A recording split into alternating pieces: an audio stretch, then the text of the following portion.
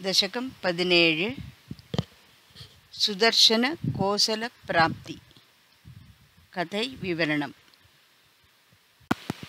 முதல் ஸ்லோகம் சசிகலியும் சுதர்சனனுக்குமாக விவாகம் நடந்தபின் யுத்தத்தில் சுதர்சனனை கொன்றே தீருவேன் என்று முழக்கமிட்ட யுதாஜித் யுதாஜித்தை அன்னை வதம் செய்தாள் சுதர்சனனை அவனால் ஒன்றும் செய்ய முடியவில்லை. சத்ருஜித்திற்கு சசிகலையை விவாகம் செய்வதற்காகத்தான் இந்த யுத்தம் நடந்தது. ஆனால் யுத்தத்தில் அவனும் மாண்டான். இவர்களின் மரணத்திற்கு காரணம் அம்பாளிடமும் பக்தி இல்லை. நல்ல சத்ஜனங்களிடமும் விரோதம். சுபாகு பக்தியுடன் தேவியை துதித்தான். அன்னை பக்தர்களை காப்பாற்றினாள். யுத்தம் முடிந்ததும் அன்னை மறைந்து விடுகிறாள். இரண்டாவது ஸ்லோகம் யுத்தத்தில் யுதாஜித் சத்ருஜித் இருவரும் இறந்த பிறகு சுபாகுவும் சுதர்சனனும் தேவியை துதிக்கிறார்கள். சுபாகுவின் பக்திக்கு மெச்சிய அன்னை அவன் விருப்பப்படி காசி நகரத்தை ஒரு முத்து க்ஷேத்திரமாக விளங்கும்படி அனுகிரகித்து காசியில் சகல சம்பத்தும் இருக்கும். உலகம் உள்ளளவும் நான் இந்த காசியில் வாசம் செய்வேன் என்று சொன்னாள். உன்னை பூஜைக்காமல் இதுகாரும் நான் வாழாயிருந்தேனே என வருந்திய சுதர்சனன் இடம் அயோத்திக்கு சென்று தன்னை முக்காலமும் கிரமப்படி பூஜித்து வரும்படி அன்னை சொன்னாள். இதை கண்ட மற்ற அரசர்கள் அவர்களிடம் நீங்கள் துதிக்கின்றீர்களே இங்கு யுத்தம் செய்த அந்த பெண்மணி யார்? என்று வினவினார்கள். சுதர்சனன் அன்னையின் மகிமையை சொல்கிறார். இது தேவி பாகவத்தில் விரிவாக சொல்லப்படுகிறது. சுதர்சனன் சொல்கிறார். சகுணையும் நிர்குணையும் அவளே. நிர்குணையான தேவி யோகிகள் கூட பார்க்க முடியாது. ஆனால் சகுணையான தேவியை பக்தர்களால் காண முடியும். யுதாஜித் சத்ருஜித் ஆகிய துர்புத்தி கொண்டவர்கள் முன்கூட அன்னை கா புத்தி உள்ள துர்புத்தி உள்ளவர்கள் முன்கூட அன்னை காட்சி தந்தாள். யுதாஜித் சத்ருஜித் ஆகிய துர்புத்தி கொண்டவர்கள் முன்கூட அன்னை காட்சி தந்தாள் ஆனால் அவர்களால் அன்னையை அறிந்து கொள்ள முடியவில்லை. அதனால் வணங்கவோ துதிக்கவோ செய்யவும் முடியவில்லை. காரணம் மனதில் பக்தி இல்லை. தானே அனைவரையும் விட உயர்ந்தவன் என்ற நினைவுதான் இதற்கு காரணம். மூன்றாவது ஸ்லோகம். விவரணம். தேவர்களும் பிரம்மாவும் கூட அறிந்து கொள்ள முடியாத பெருமையுடையவள் தேவி.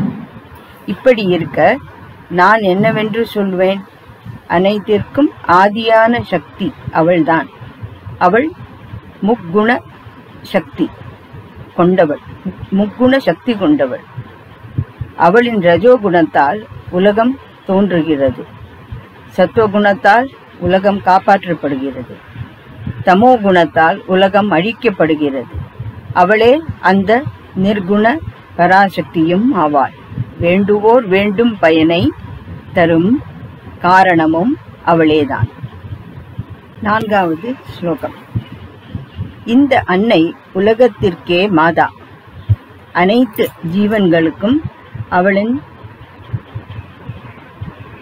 ஆசி அளிக்கப்படுகிறது.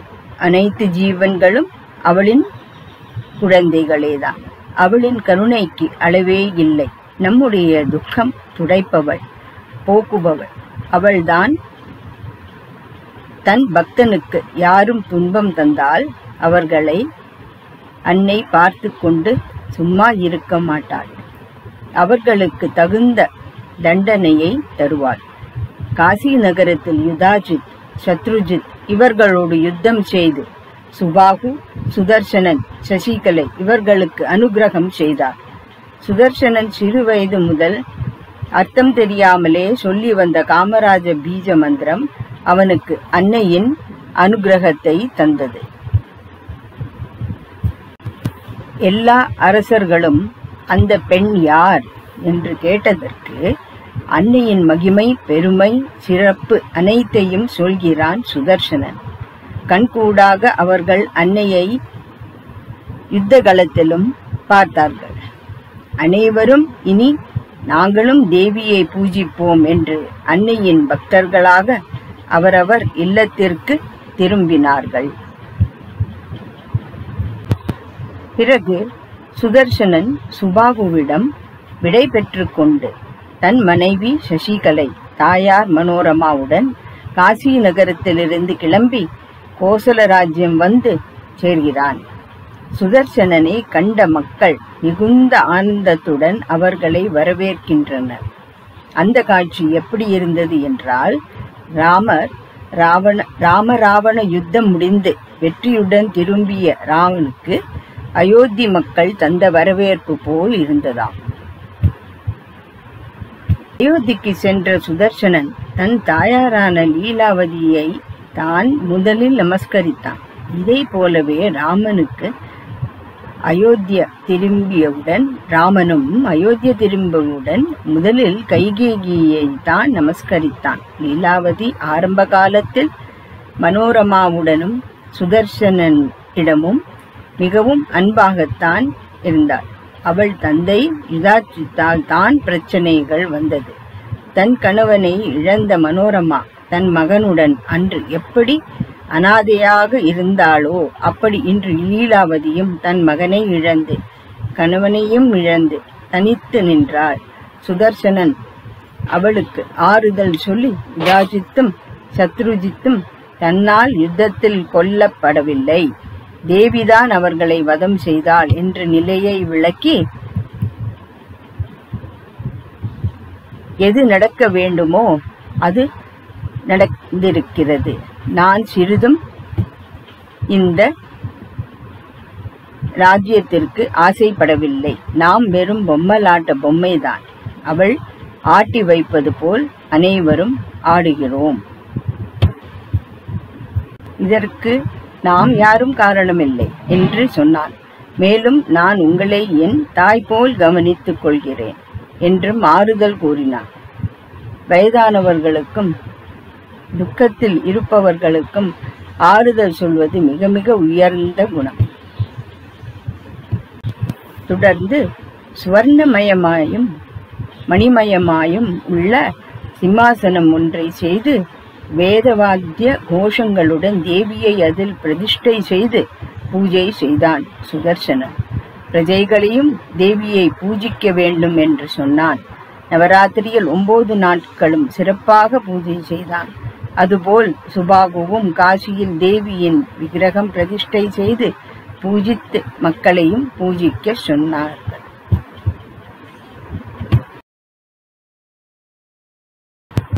ஒரு ராஜ்யத்தில் ராஜா எப்படியோ மக்களும் அப்படியே ராஜா தேவியை பூஜிப்பதால் அனைவரும் தேவியை பக்தியுடன் பூஜித்து வந்தனர்.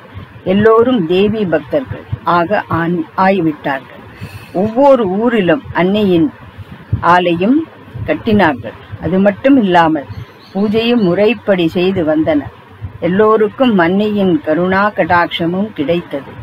சுதர்சனனின் ராஜ்யமும் சுபாகுவின் ராஜ்யமும் சிறப்பாக நடத்தி வந்தனர் பக்தி இல்லாத மனிதனின் வாழ்க்கை வீழ்ந்தான் பக்தி இருந்தால் தேவியின் அருளால் எல்லாம் நன்றாக நடக்கும்.